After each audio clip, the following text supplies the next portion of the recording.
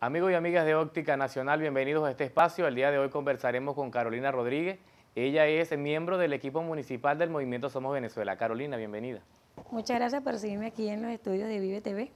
Un placer tenerte hoy acá. Precisamente conversar un poco sobre un nuevo plan que ha girado el Ejecutivo Nacional para atender al pueblo venezolano. Plan de atención a las víctimas de la guerra económica que viene a coadyuvar a resolver, digamos, esas líneas que dejan los efectos económicos en el país conocer cómo se viene dando el abordaje acá en Ciudad Bolívar.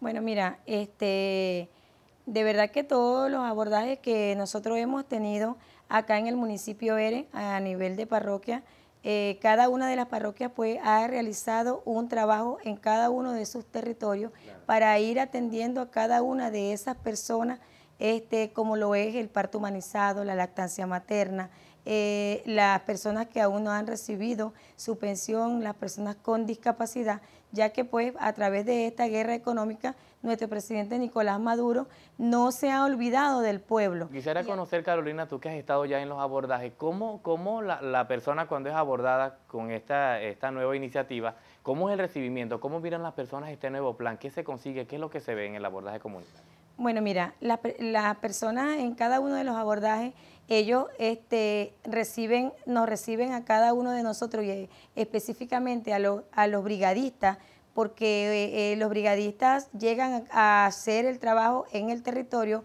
casa a casa, porque el movimiento Somos Venezuela es un movimiento de fe y de esperanza al pueblo. El pueblo ve esperanza en cada uno de los brigadistas que van a su territorio a atenderlo. Hablemos un poco precisamente de la metodología de trabajo. Se hace el abordaje comunitario, luego qué acción sigue a este abordaje, porque en el abordaje se conoce la situación vulnerable de alguna persona, luego cuál es el paso a seguir.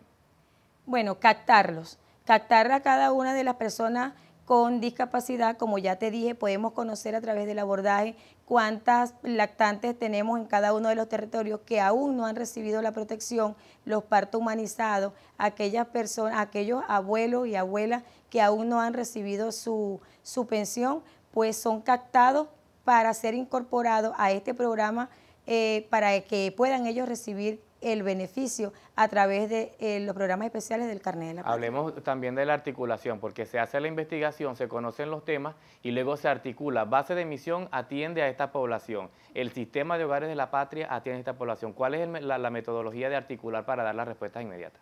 Bueno, eh, primero que nada, tener articulación con todo el, este, cada una de las instituciones, ¿ve? articular de una manera directa con cada uno de ellos y que nos puedan dar respuesta, porque nuestra secretaria eh, del Movimiento Somos Venezuela Municipal, Zulay Betancourt, eh, realiza las reuniones y hace el llamado a cada uno de las fuerzas, las fuerzas que son las que nos van a ayudar a nosotros, ¿verdad?, ir al territorio a darle respuesta inmediata a aquellas personas, pues, con discapacidad, personas eh, parto humanizado, adulto mayor, eh, y lactancia materna que podemos conseguir en cada uno de los territorios, como así también aquellos casos de vulnerabilidad y de, de desnutrición. Muchísimas gracias Carolina, ya se nos agota el tiempo y ha sido interesante conocer un poco este plan de atención que está disgregado a nivel nacional.